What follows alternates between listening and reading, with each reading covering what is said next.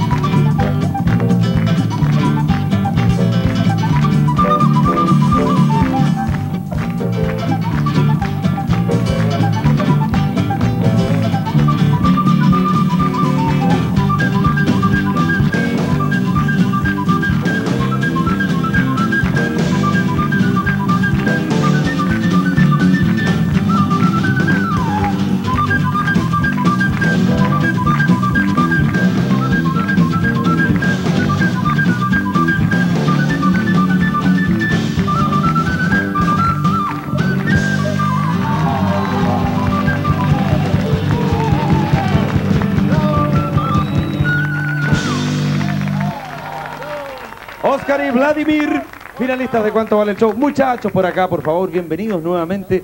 Eh, ahora como finalistas, ya más macizos, más carreteados. ¿Se sintieron bien o no? Sí, sí. Tenemos sí, sed. Esto yo me lo tenía, pero ya asegurado con Pasalacua. ¿Tiene sed el señor Pasalacua? ¿Tiene sed el resto del jurado, distinguidas damas? Sí. Por favor, Julio César, manifiéstese en un ratito más por último. Aprovechamos de recomendarles para este fin de semana una visita refrescante, bailable y divertida hasta Tropicana Salsoteca de Santa Filomena 81 que nos envía estos refresquillos y otros más para disfrutar en nuestro cuánto vale el show. Todos atendidos, todos bien, perfecto. Eh, yo les quiero preguntar una cosa. eh, ¿Se siente más cómodo eh, un artista ya en una condición así como finalista? Sí, bastante más relajado. Respaldados por el triunfo primero, ¿verdad? Claro que sí, claro que sí. Ya, pues entonces vamos a ver ahora, el jurado califica solamente en forma verbal, brevemente, el trabajo de los finalistas. Comienzo con usted, señora Denise. Gracias. Bueno, usted sabe que yo llegué aquí porque Marcela estaba enferma. Eh, Dios permita que se mejore pronto. La vine a reemplazar a ella y yo Y se lo agradecemos en mucho. estos Denise. días. Sí, muchas gracias. Ella con Italia, yo con Brasil, pero las dos nos queremos mucho. Bueno, eh, quiero decir que me han sorprendido estos dos señores maravillosos, esa es mi expresión.